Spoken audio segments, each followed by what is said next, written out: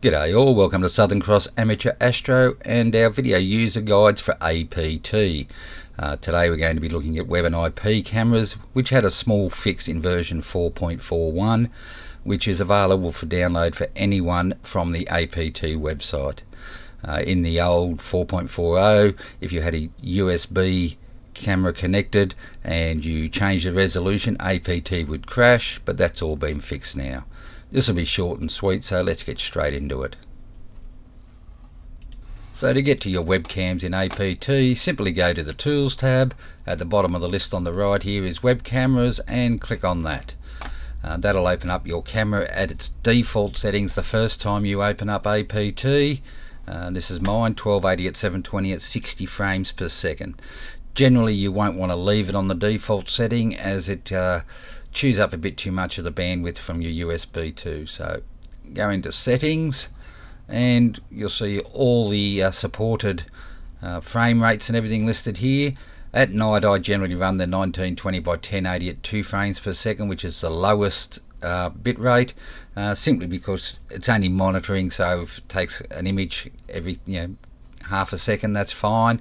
You can see what's going on but the colour looks terrible in the day so I'm going to set uh, 640 by 480 at 30 but you want to get one that's down a bit so the colour is right.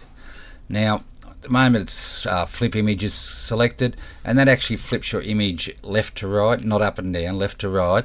So if you click on flip image there uh, what it'll do when I hit OK it'll swap this around because that's currently backwards at the moment so I've turned flip image off now if you have an IP camera of course you will check the IP and enter the address for the camera, the IP address. So you need to know that and it should work.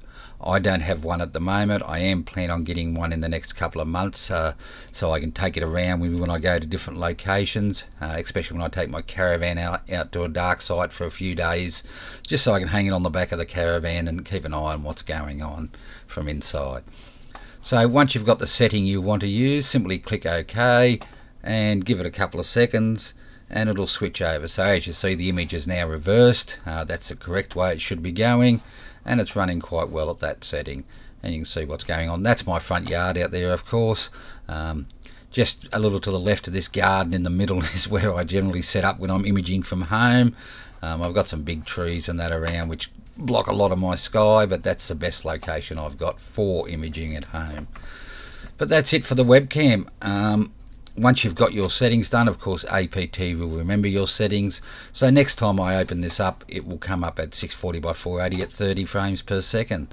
Um, my default like I said I generally go to the slowest bit rate um, but the images look absolutely awful in that with the bright sky and everything outside.